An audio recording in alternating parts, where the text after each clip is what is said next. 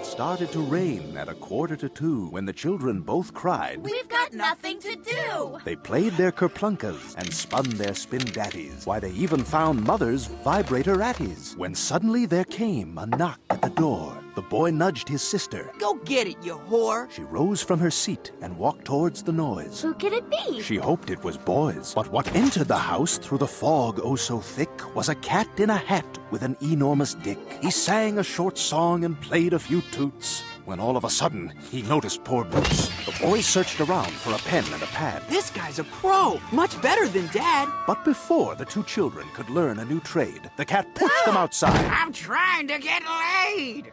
So, with nowhere to go but over the hill, the children set off for the town of Whoreville. They passed a few vagrants, a hooker, a corpse, trying their best not to vomit, of course. Though it got pretty hard as they passed by a can where a man tried to shit out some blue eggs and spam.